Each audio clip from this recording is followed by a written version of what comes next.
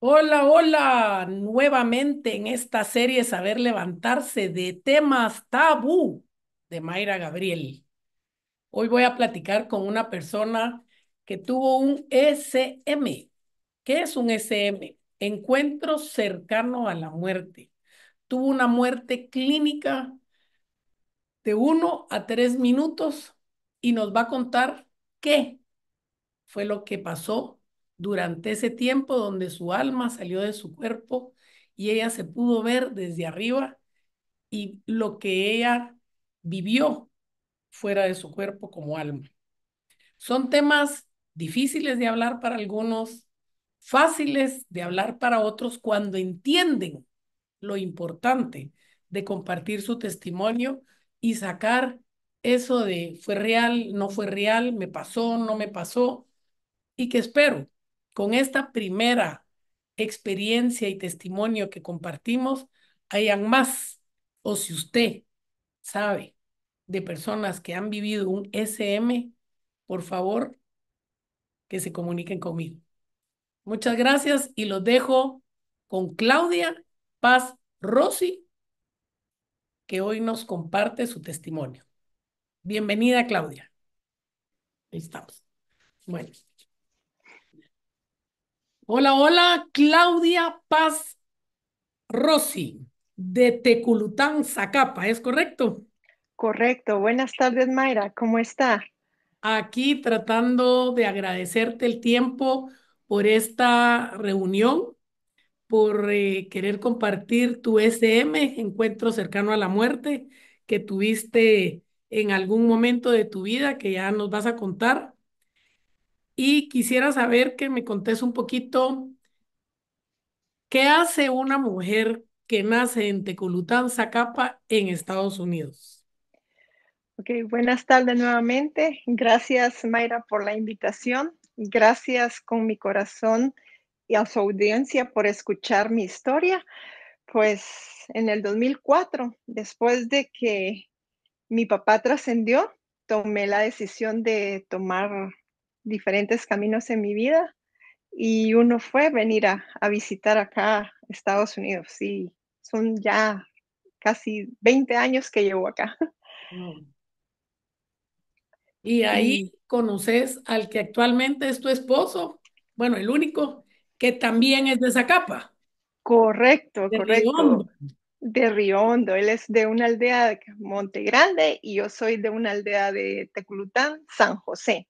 Aquí lo conozco, un excelente y maravilloso hombre que Dios me puso en mi camino.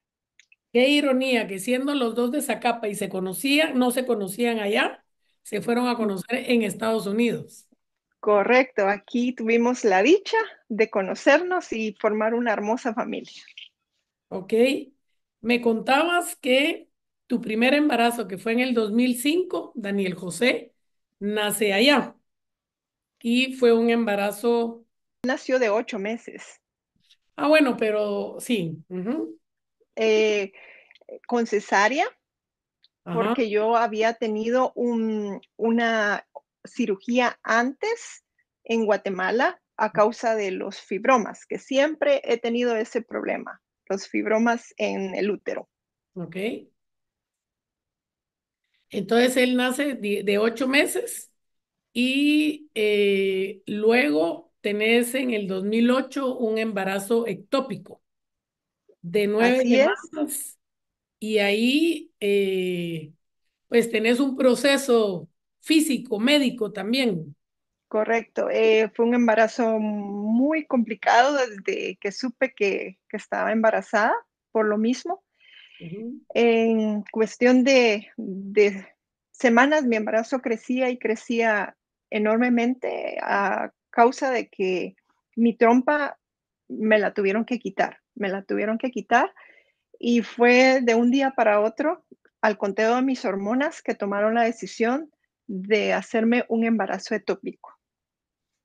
Ok, Consecuencia que, que solo tuve una trompa eh, para ver si podía volver a quedar embarazada.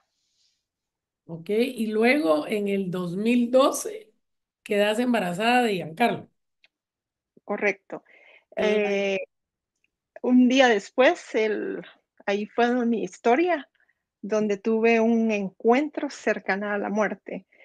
Fue momentos de alegría porque tenía a mi hijo conmigo y hasta el momento no había tenido ninguna complicación, sino hasta un día después. O sea, tu embarazo todo fue, tu embarazo todo fue súper bonito, sin ninguna molestia, lo normal, digamos, pero sin nada fuera de lo normal. Exacto, siempre estuve en control porque los médicos decían que yo nunca iba a volver a, tener un bebé con una trompa y ahí está mi, mi milagro y tuve control durante los nueve meses. Ok. Por el, motivo de siempre de que mi, mi, sangre se coagula mucho. Ah, ok. Y al día siguiente tú comenzás a tener fuertes dolores y por el esfuerzo, digamos, de, de ir al baño, eh, ¿qué pasa? Correcto. Eh, un día después yo estaba acostada y ya había visto a, a, Giancarlo y se lo habían llevado nuevamente las enfermeras. Entonces le digo a mi esposo que él estaba conmigo, le digo que necesitaba ir al baño. Entonces él me ayudó a levantarme de la cama y me ayuda a ir al baño. Él se regresa a, a la cama. Cuando yo regreso, las fuerzas, uno después de una cesárea queda con molestia de ir al baño. No pude ir hacer lo que tenía que hacer, simplemente me ocasionó un fuerte dolor, Mayra, un dolor que hasta el día de hoy eh, no se lo deseo a nadie. ¿En qué parte de tu cuerpo lo estabas? En mi abdomen. Y regreso y me dice, le digo a mi esposo, me duele demasiado mi estómago. Y él me dice que me acostara y le digo que no puedo, porque era muy fuerte. Viene él y me dice de 1 a 10 y le digo un mil, porque era demasiado el dolor. Él trató de acostarme en mi cama. Cuando, cuando eso yo me estaba quedando sin voz. Él me estaba teniendo un coágulo en uno de los pulmones y eso me estaba ocasionando que me quedara sin respiración. Eso lo supieron después. Después, después. Entonces, llegó un momento que yo le decía a mi esposo que, que me ayudara porque era demasiado el dolor, demasiado, demasiado. Cuando sentí, me había quedado sin voz, sin respiración, y sin nada que hacer, Mayra. Fue en cuestión de segundos. Y ahí es donde tu esposo oye que tú decís, mamá, mamá. Exacto, él, él me cuenta después que, que logró escuchar eh, que yo llamé a mi mamá y de allí él miraba un movimiento de que entraba un doctor, salía un doctor y entraba, y hubo un momento donde él totalmente lo sacaron fue donde ahí tuve la muerte clínica, donde quedé sin respiración totalmente. Y lo primero que ves al tu alma salir de tu cuerpo es obvio a tu mamá, porque la estabas viendo, pues. Correcto, correcto. ¿Y qué pasa? ¿Qué pasa ahí? Tanto con tu mamá como lo que tú veías que estaba pasando con tu cuerpo. En ese momento fue una, una emoción que hasta el día de hoy la tengo, de ver a mi mamá, pero mi misma angustia de estar viendo que estaban monitoreando mi cuerpo, tratando de meter agujas y todo debajo, yo estaba en una sensación de, de, estar viendo y, y, de estar viendo a mi mamá. O sea, era, y, y era una sensación que yo estaba con la pena y le hablaba a las enfermeras en inglés y les decía que era la aguja pequeñita, porque siempre me dijeron que usara la aguja pequeña.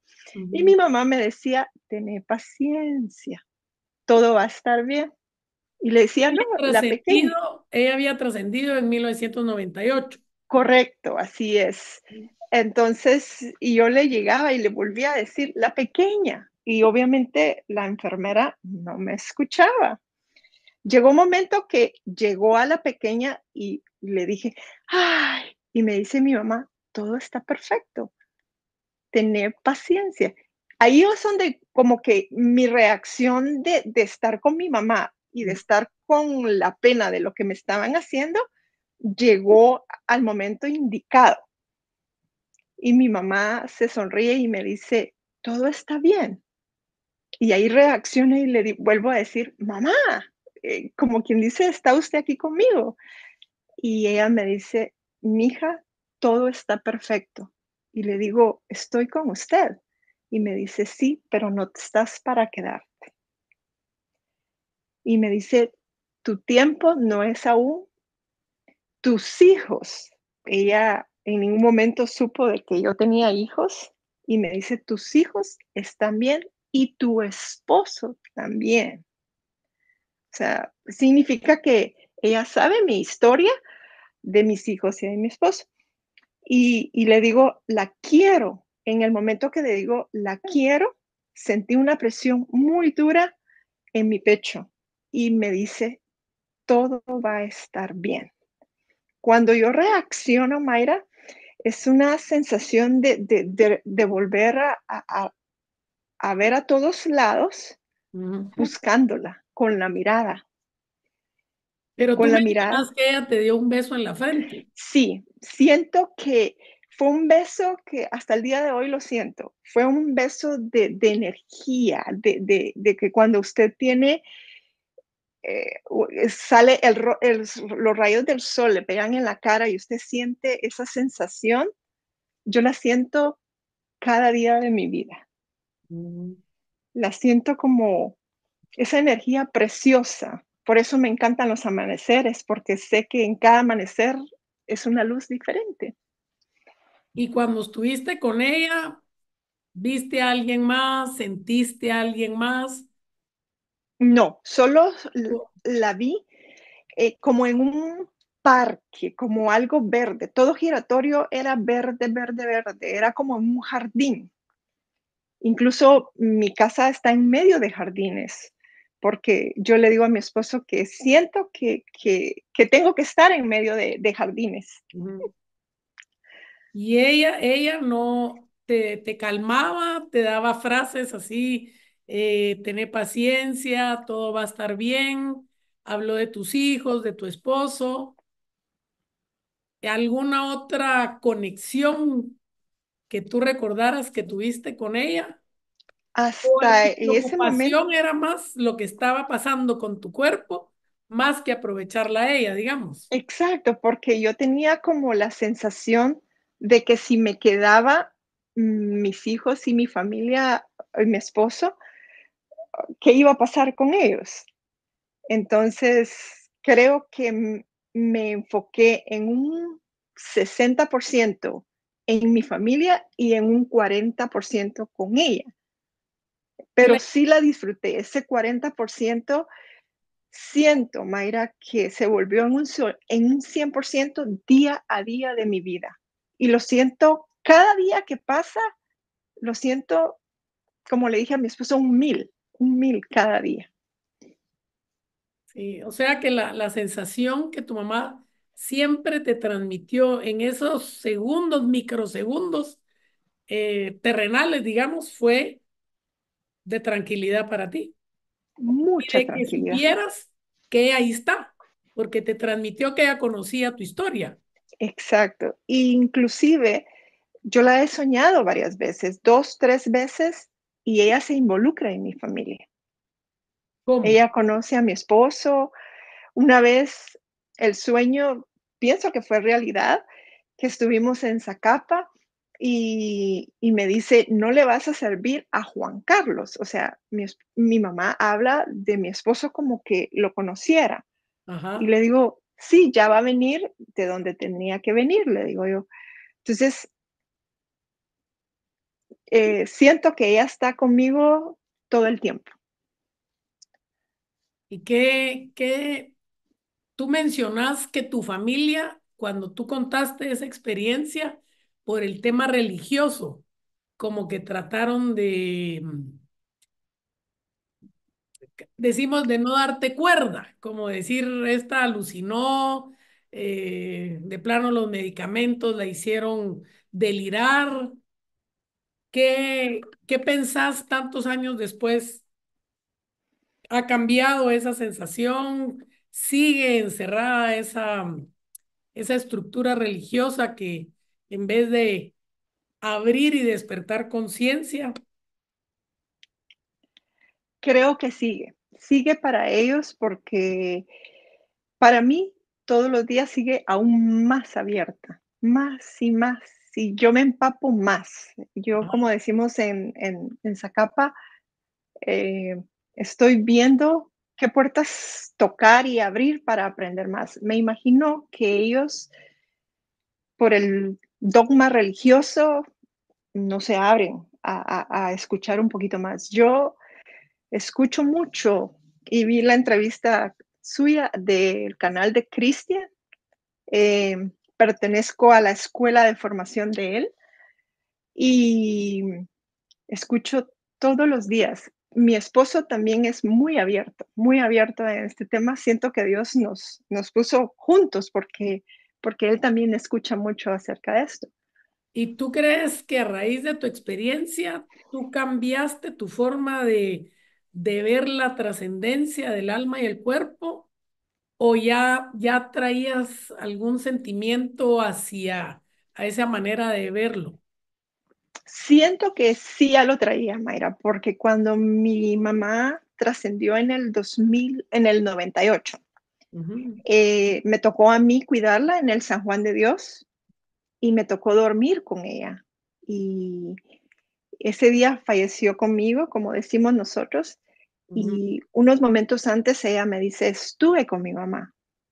También. También. Entonces yo me identifiqué y yo no le dije a ella y estaba soñando. No, yo le dije, cuénteme, cuénteme qué es estar con su mamá. Y ella me cuenta su historia. De allí, a mí me encantan mucho estos temas. Siento que, que yo ya venía en esta vida para aprender sobre, sobre este tema. Años después voy a Zacapa, porque me, me, me encanta ir mucho a Zacapa, y voy a verla a ella al cementerio y me pongo a platicar con ella como que estaba platicando normalmente. Y conozco a un personaje vestido de blanco y me dice que él me ha visto todo el tiempo en el cementerio cada viernes llevándole flores a mi mamá. Y le digo yo que sí. Entonces él me dice que ella está bien, que ella me cuida y que ella nunca me ha dejado. Y le digo, lo sé, por certeza lo sé. Pero en ese momento yo estaba en pañales todavía acerca de estos temas. Sí. Y, en el hasta el día de hoy pienso que era un ángel, un ángel. Un ángel porque en Zacapa tenemos personas de ojos claros, azules, rubios, pero que anda vestido de blanco con un atuendo que parecía un rayo de sol. Creo que es el calor, pero también puede existir que fuera mi ángel. Nunca averiguaste en ese momento, digamos. Nunca. Hasta el día de hoy, segunda vez que me sucede con el mismo personaje, a raíz después que tuve un accidente en carro acá, y el mismo personaje aparece a mi vida y él me ayuda, solo que con diferente fisionomía, pero el mismo atuendo, blanco, ojitos claros y rubiecito. Bueno, hay que preguntarle quién es y cómo se llama. Exacto. Y en el 2004, que es la decisión que tomo de venirme para acá, que mi papá también trasciende. Entonces, un día antes de que él trascendiera, estuve con él en el hospital y la misma historia. Me dice, hija, em, empezamos a hablar y todo el tema y le digo, ¿cómo se siente? Y me dice, bien, porque aquí estuvo tu mamá. Mm. Y yo sonrío. Y mis hermanas son, por el dogma religiosas, me imagino que son escépticas o respeto la ideología de ellas, pero vengo yo y le digo, cuénteme. Y él me cuenta su historia. Exactamente un día después, él trasciende. Sí, es que nunca nos morimos solos, ¿verdad? Siempre vienen a traernos. Exacto. Siempre vienen a acompañarnos. Sí, bueno, eso, eso, eso, qué alegre para ti, pues, porque, digamos, tuviste eh, el honor de, compartir con tu mamá en segundos, pero pues a ese nivel no hay tiempo ni espacio. Puede ser que hayas vivido otras cosas y, y ya la mente física no te lo permite recordar. No, pero sí recuerdo que cuando desperté, yo buscaba a mi alrededor, estaba eh, en un hospital donde únicamente habían enfermeros que hablaran inglés y doctores inglés. Y sale una enfermera que me dice, todo va a estar bien en español. Y yo reacciono y ella me empieza a hablar, Mayra, como que mi mamá hubiese seguido, pero por medio de la enfermera. Ella me cuidó y lo más lindo que ella no pertenecía a esa unidad. Después eh, contaré otra pequeña historia sobre la enfermera, pero ella me cuidó como mi madre. Ella me, me sobaba mi espalda porque por a, raíz del, del, coágulo tendrían que estarme dando golpecitos en, en, los pulmones para que no se volviera a formar otro nuevamente. Y ella me hablaba como que hubiese sido mi madre, Mayra. Me hablaba en español todo el tiempo. ¿Cuál, Yo, ¿Cuál es su nombre? Argelia se llama ella. Argelia. Argelia. Y físicamente, lo único que varía de mi mamá y la fisionomía son el color de sus ojos. De ahí exactamente rubiecita, blanquita. ¿Latina o, guatemalteca? También. Guatemalteca. No. La enfermera es guatemalteca, sí. Ok. Cuando usted estaba acompañada de su mamá en algún momento, ella le dice que todavía no es su momento. Correcto, que yo tengo que regresar. Me dice que todo está bien cuando yo le digo y le pregunto por mis hijos y me dice, todo está bien, todo es perfecto. Tienes que regresar porque todavía no es tu tiempo. Y ahí es donde yo siento la energía del beso y yo traté de explicar más o preguntar más, ahí fue donde yo sentí los golpes ya de, la respiración artificial que me estaban dando. Y en, cuando ya te repones y, y todo, ¿en algún momento quedó marcado cuánto tiempo estuviste fuera, fuera de tu cuerpo? Sí, está, el récord está en el hospital. Fue alrededor de entre uno a tres minutos. Así es bastante. Fue bastante. Sí, mi esposo me cuenta, después de todo el movimiento que hubo, entraban doctores, salían doctores. Incluso dice él que llegó hasta el seguridad. Cuando llega un seguridad es que ya hay una persona trascendida. Y él dijo, aquí pasó lo peor, ¿verdad? Sí, pues, pues de ahí Em, en el 2022 te diagnostican con cáncer de mama. Exacto, del pecho izquierdo. Pero antes de esa situación, yo tengo un evento muy especial también para mí, que tengo que contarlo, que a raíz de, de mis, de mi sangre que, que coagula mucho, y formo muchos... ¿Que coagula o que no coagula? Que coagula. Mi sangre es muy espesa. Sí, pues. Entonces eh, es muy difícil que circule. Entonces eh, formo, eh, mi, mi, cuerpo tiende a, a, formar coágulos y fibromas. Por, ya me operaron uno en la boca, que increíble, que es lo mismo, un fibroma en la boca Entonces tomó la decisión de hacer una histerectomía porque ya no quiero vivir tras cirugía y cirugía y ya con una trompa, entonces la doctora me dice que había necesidad de, quitarme mi útero para evitar un cáncer en el futuro y le digo yo, con gusto, yo estoy muy abierta, ya tengo mis dos hijos, ya tengo un tercero, ya le digo, y, y ya, un tercero que está en el cielo con mi mamá y mi papá, mi suegra. y, y, le digo que, que hay que hacerlo. Ok, mi esposo me dice, con gusto, porque él es, tenemos una comunicación muy bonita. Ajá. Y me dice, hay que hacerlo. Entonces, fue un 18 de marzo del 2018 y me hacen la cirugía y todo y él tenía que ir a trabajar el otro día y le digo, tengo que ir al baño nuevamente. Y él me dice, vaya, pero le digo, tengo miedo de que vaya a suceder lo mismo que sucedió en el pasado. Y me dice, no, todo va a estar bien. Y le digo yo, me acompaña y él me acompaña. Y ya en ese momento sí, todo estuvo normal, pero regreso a la cama y me acuesto. Y me dice él en, son de, broma, hoy no hubo gases, me dice él, y, nos empezamos a reír, ¿verdad? Y le digo, no. Y le digo yo, descanse, porque él tenía que ir a trabajar y me dice, no, platiquemos. Y, yo estaba con la pena de, de, que él descansara, porque yo tenía, estaba en el hospital y yo sí iba a descansar, ¿verdad? A los segundos tocan la puerta, Mayra, y mi esposo dice, adelante.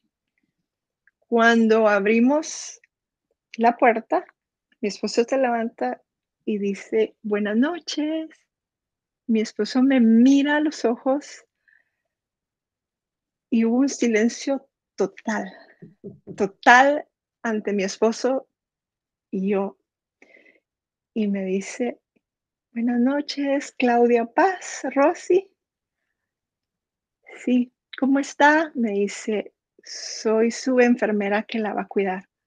Era la misma enfermera que me cuidó cuando me pasó el SM.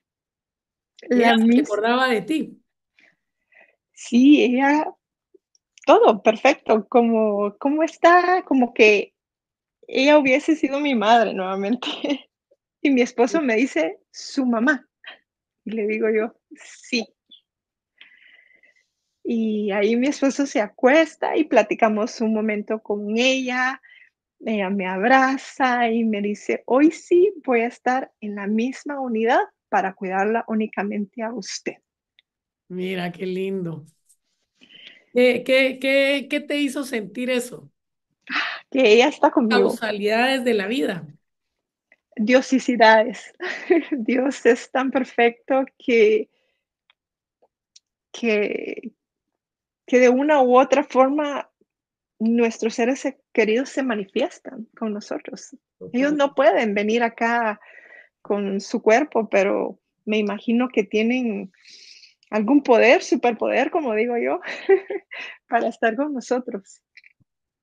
¿Y qué es para ti ser de las privilegiadas, diría yo, de los privilegiados que sí tienen ese tipo de experiencias de que digamos, no sé si tú lo platicaste con tu médico de cabecera en su momento, porque hasta hace unos años para acá siento yo que se habla más y más y que ahora con más fuerza se está pudiendo hablar, la gente ya no se reprime. ¿Por qué es importante compartir eso? ¿Por qué en su momento no le hablaste a los médicos sobre eso que tú sentiste? Porque de un minuto es un montón, pues, no digamos. Para nosotros, para nosotros es mucho, mucho, mucho. Eh, no le comuniqué a ellos porque me sentí tan confiada, Mayra, que fue otra diosidad que sin querer también la misma doctora que estuvo conmigo cuando di a luz de Giancarlo, ella me hizo la histerectomía. Sin pedirlo, la misma, sin pedirlo, sin yo decir, ella es una especialista, no. Ella dijo, estoy de turno y me toca hacer esta clase de cirugía. Y cuando vio mi expediente, dice que ella sintió una conexión y dijo, oh, Claudia, mi paciente que yo tuve en el pasado, entonces ella sabía todo, todo mi récord. Qué lindo. Sí, porque los doctores son escépticos a no creer esto, ¿verdad? Exacto. Y pues creo que el hecho de que el doctor Manuel Sanz, que hablábamos, que habla cada vez más como científico, como médico, ¿verdad? O sea, ya está demostrando que sí existe, ¿verdad? Sí, inclusive yo he visto, me pongo a investigar más casos y no sé si ha escuchado el doctor Alexander III, que fue eh, un maestro de Harvard. Él también tuvo un encuentro cercano a la muerte. Y le digo a mi esposo que me encanta que personas mm, con récord médicos tengan estas experiencias, porque eso nos ayuda a nosotros a tener más seguridad de lo que hablamos y que no nos miren como personas raras. por eso es que es importante compartirlo para que otras personas, eso que llevan dentro, lo, se sientan en confianza y sin juicio para poderlo, pues ese es un testimonio muy enriquecedor, pues, ¿verdad? De saber que, primero, que no nos vamos solos, que nos vienen a traer. Y segundo, que el alma nunca muere, pues siempre está vivo. Y como dice Cristian, la muerte no existe. No, no, no. Eh, eh, algunas religiones dicen que está dormido. Y yo pienso que está más despierto que nosotros. Así es, correcto. Está, está más despierto que nosotros. Y le voy a contar una, una pequeña, un pequeño ejemplo que después de todo esto, yo creo más y más porque le digo a mi esposo, yo tuve el privilegio de estar con mi suegra también en sus últimos días y me tuve que venir por cuestión de trabajo y una semana después que estaba acá, ella, ella trascendió.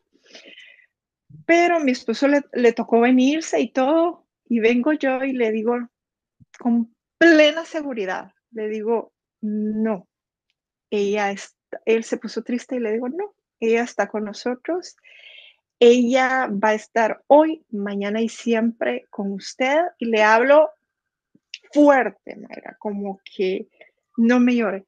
A los segundos se cae una foto, donde estaban todos los nietos por parte de ella. Y le digo yo, ¿qué? Ella está con usted y con nosotros. Es correcto, así es correcto. ¿Alguna otra cosa que querrás compartir, Claudia? Tengo muchas, muchas anécdotas. Después de esto, he quedado más abierta al tema, muy abierta. Constelé hace dos años después de mi cáncer tomé el cáncer, Mayra, como algo, una lección más en mi vida.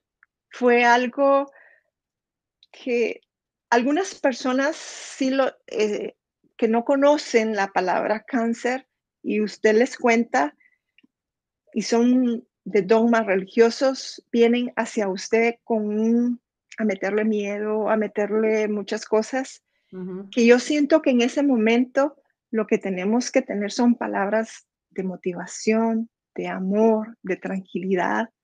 Y con el tiempo uno va como optando lo que es espiritualmente. Entonces, mi cáncer yo lo tomé como una lección, como tengo que salir de esto. Mi esposo y yo estábamos siempre juntos. Y Dios fue tan perfecto que dos años antes de que a mí me sucediera esa experiencia, me tocó apoyar a dos amigas. Entonces mi esposo me dice, ahora le toca apoyarse a usted. Y le digo, sí, yo salgo de esto porque salgo de esto. Y aquí estoy, que no tomo medicamento. Estoy ya que Pasó, ahora pero ya pasó. ya pasó, porque todo es perfecto. Y todo pasa como tiene que pasar. Y son, Correcto. como, como le decía yo a alguien hoy, cuando, cuando nos ponían una nota mala en, en alguna pregunta que contestamos mal, quiere decir que tenemos más por aprender. Porque si sacamos la respuesta mala, quiere decir que tenemos más por aprender. Y cuando nos van pasando eventos así como los que te han pasado a ti, son para aprender, son para crecer internamente, espiritualmente, eh, pero pues la religión nos ha venido a, a, a, a sentar un poquito en no podernos expresar, pero eso está cambiando. Y por eso, ¿cuál sería tu mensaje para las personas que han tenido un encuentro cercano a la muerte? ¿Qué les dirías que se atrevan, que hablen?